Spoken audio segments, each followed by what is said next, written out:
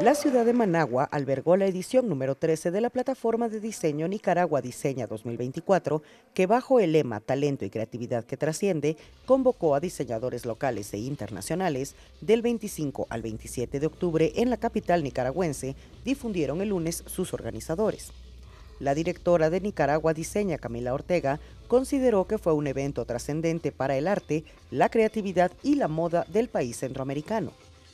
y hacemos que también los diseñadores internacionales que nos acompañan proyecten el talento y sean voceros de lo que se está viviendo en nuestra Nicaragua gracias a este modelo de economía creativa que venimos fomentando. Ortega expuso que trabajan con el corazón y con el alma, además de sumar esfuerzos y ser cada vez más y más diseñadores y artistas, todos protagonistas del ámbito creativo en Nicaragua.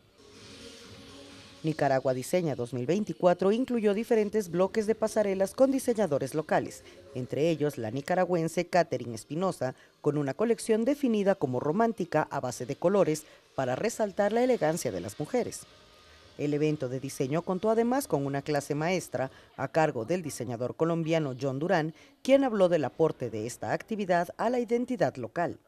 Lo que puedo como percibir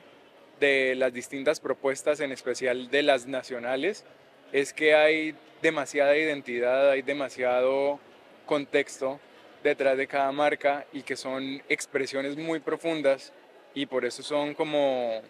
tan llenas de identidad.